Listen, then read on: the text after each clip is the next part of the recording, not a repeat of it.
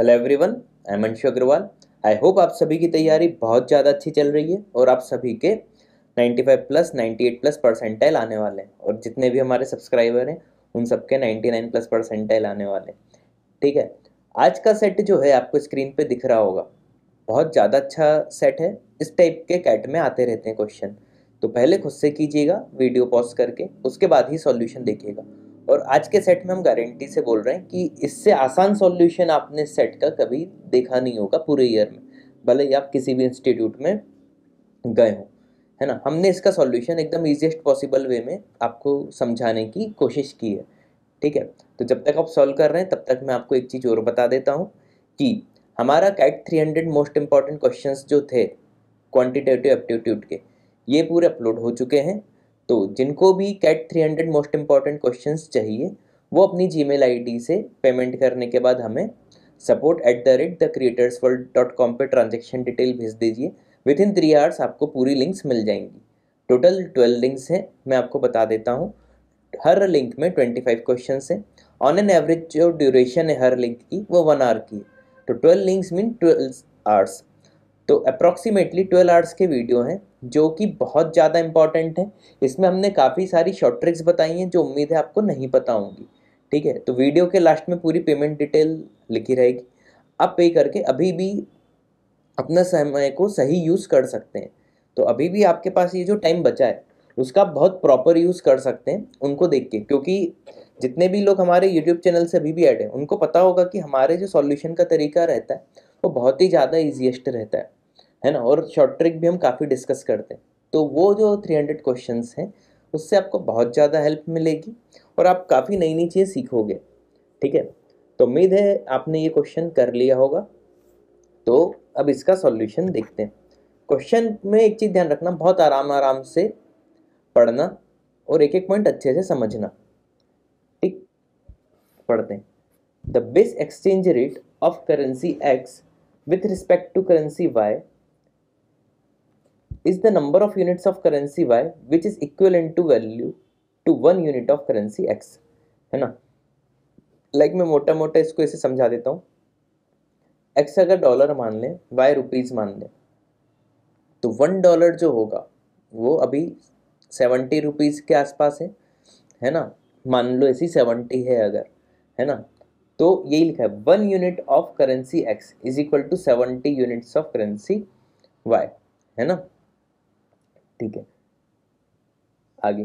Currency exchange outlets buy currency at buying exchange rates buying exchange rate पे लेते हैं, जो कि लोअर देन होता है बेस एक्सचेंज रेट से, ठीक है। और sell currency at selling exchange rates जो कि higher than the base exchange rate है ना?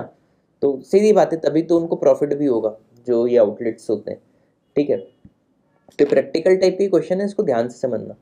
तो कोई भी जो आउटलेट होता है, वो जो करेंसी को लेता है वो बेस एक्सचेंज रेट से कम प्राइस पे उसको लेता है और जब सेल करता है तो बेस एक्सचेंज रेट से हायर प्राइस पे बेच देता है। तो इसी से इनका बिज़नेस बहुत अच्छा चलता है। ठीक है? अब आगे पढ़ते हैं। मैं ध्यान से, इसलिए मैं इसको एक एक लाइन अच्छे से पढ़ पढ़ के आपको समझा रहा हूँ, क्योंकि इस टाइप के क्वेश्चन कैट में आ जाते हैं में तो इसको बहुत अच्छे से समझना, है ना? वो दिमाग में फंडे क्लियर रहेंगे तो क्वेश्चन अच्छे से समझ में भी आएगा। A currency exchange outlet uses the local currency L to buy and sell three international currencies A, B and C. Local उसकी L है और international currencies A B C है but does not exchange one international currency direct with another यानी एक जैसे ए को B से direct वो एक्सचेंज नहीं करेगा ठीक आगे the base exchange rate of A B and C with respect to L ध्यान देना क्या लिखा with respect to L are in the ratio hundred, one twenty and one. यहाँ से हमारे काम की चीज़ चालू होती है। तो ए बी और सी ये थ्री इंटरनेशनल करेंसीज हैं। ठीक?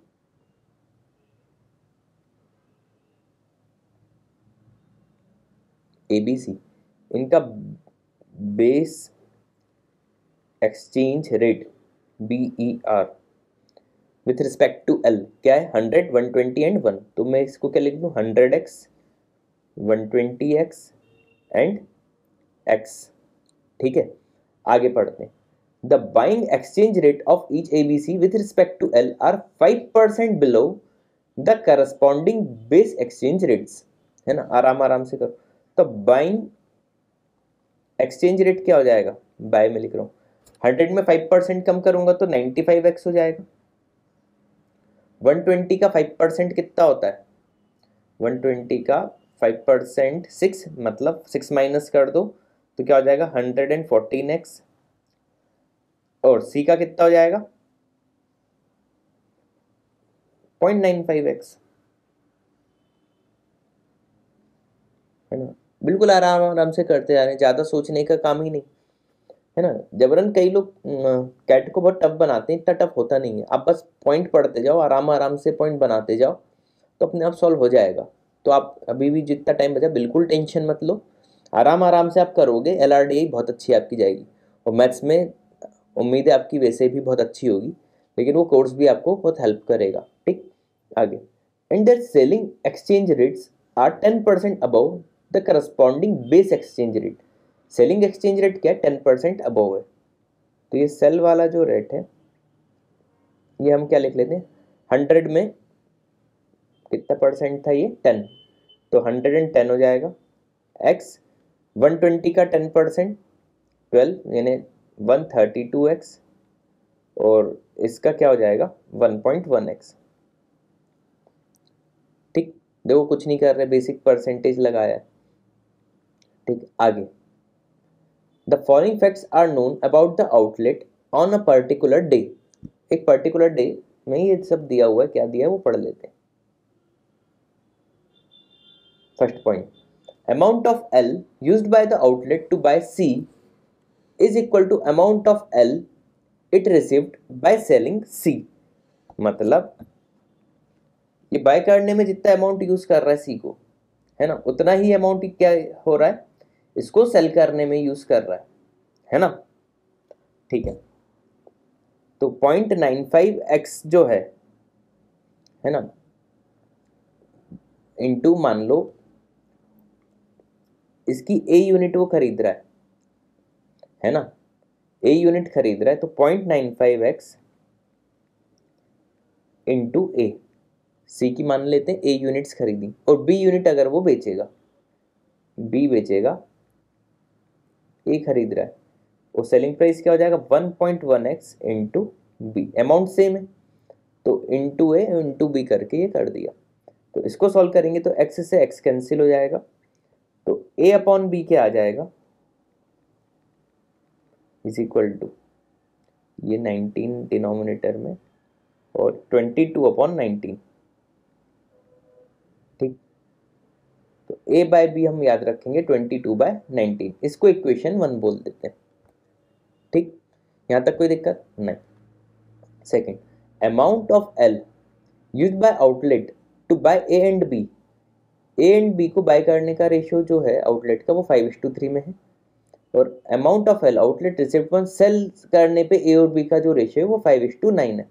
ठीक? तो बाय करने का दे दिया। तो बाय करने पे मान लेते हैं, ये है फाइव इस टू थ्री का रेशियो था। अच्छा सबको एक साथ यूज़ करूँगा।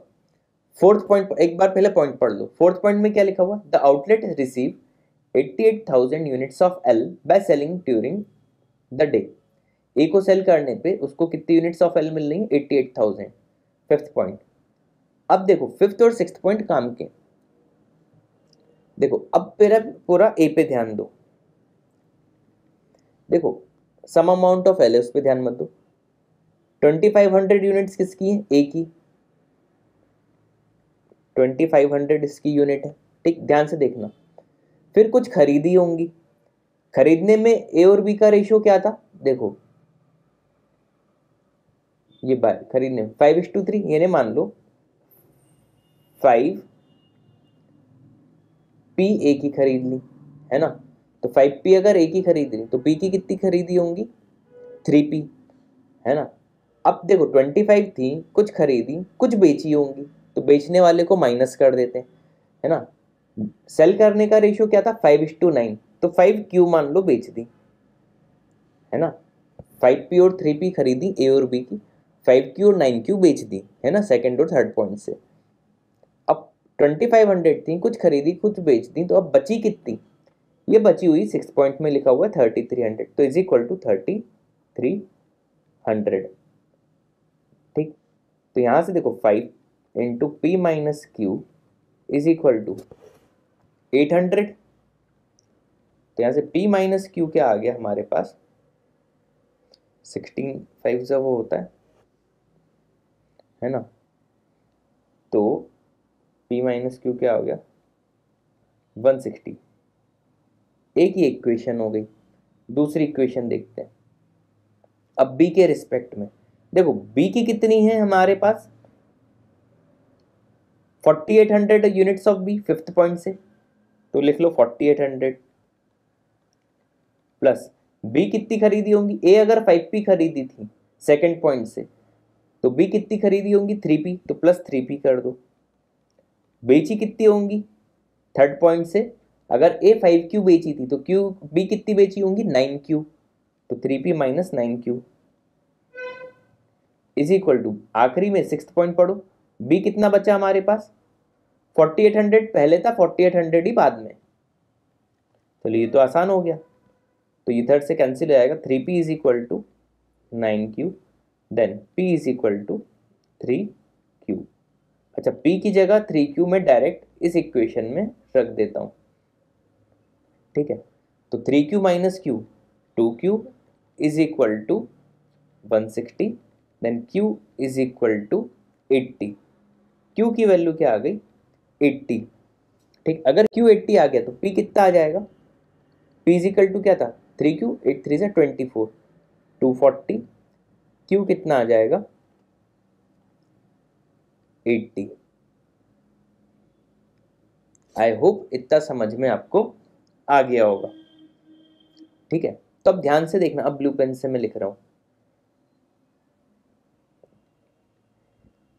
अब ए और बी को दोबारा देखो। ट्वेंटी फाइव हंड्रेड यूनिट थी ए की प्लस फाइव पी तो five into two forty five into two forty कितना आ जाएगा? ट्वेल्व हंड्रेड तो ट्वेल्व हंड्रेड इसने पी की खरीदी होंगी ए की खरीदी होंगी minus five Q five Q कितना हो जाएगा? फोर हंड्रेड फोर हंड्रेड बेच दी होंगी। तो फाइनली बचा कितना? थर्टी थ्री हंड्रेड तो ये होगा। इनकेस कोई क्वेश्चन आ जाए तो हम ओरल आंसर दे देंगे। अब ऐसे बी के इसके पास कितनी थी? फोर्टी एट हंड्रेड थी। Plus three P seven twenty इसका मतलब सेवन ट्वेंटी इसने खरीदी। Minus nine Q seven twenty ही बेच दी। तभी फोर्टी एट हंड्रेड का फोर्टी एट हंड्रेड रहा। ठीक है? तो नीचे के जितने भी क्वेश्चन आएँगे तो वो तब देखो बहुत आराम से हो जाएँगे। ठीक है? कई जगह इसको ऑप्शन से करके किया गया क्वेश्चंस को, लेकिन मेरा मानना है इस टाइप का कोई भी क्वेश्चन आ जाता है। और देखो, कोई टफ नहीं था लॉजिक अगर आपने अभी सॉल्यूशन देखा होगा तो है ना? तो इतना ही आसान था तो आप बिना ऑप्शन के भी कर सकते थे। जबरन एज्यूम करके हम क्यों ऑप्शन से करें? अगर डी ऑप्शन मिलता तो ए बी सी डी चार ऑप्शन कौन चेक करेगा? ठीक, इतना सन में आ गया? कितना खरीदा, कितना बेचा? अब ये प्राइस निकाल लेते हैं। उसके लिए देखो फोर्थ पॉइंट था। फोर्थ पॉइंट क्या है? The outlet received 88,000 units of L by selling sell कर रहा है ए को ड्यूरिंग द डे अच्छा ए को वो सेल कितना कर रहा है ये हमने निकाल लिया? 400 तो देखो 400 वो सेल कर रहा है। और ए को सेल करने का जो प्राइस है वो क्या है? वन वन ज़ीरो एक्स कमा कितना रहा eighty eight thousand units of L तो यहाँ से ये three zero cancel eleven four सा फोर्टी फोर टू सा एट्टी एट तो एक्स की वैल्यू आ जाएगी टू एक्स टू आ गया. तो अब जैसे हंड्रेड एक्स था, वो क्या हो जाएगा? अब ध्यान से देखो, अगर मैं इसको रफ कर दूँ तो हंड्रेड एक्स क्या हो जाएगा? Two hundred ninety five two ज़ा और इधर टू ट्वेंटी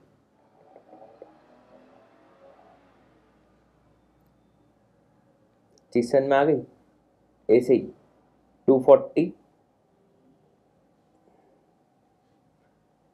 टू फोर्टी फिर टू ट्वेंटी एट है ना? One one four into two two twenty eight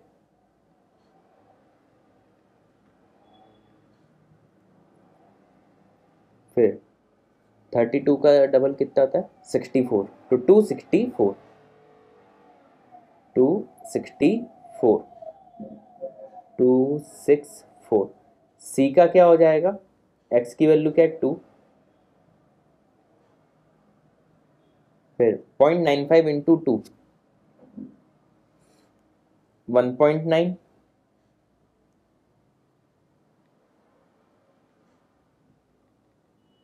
और इधर टू पॉइंट टू आखिरी में।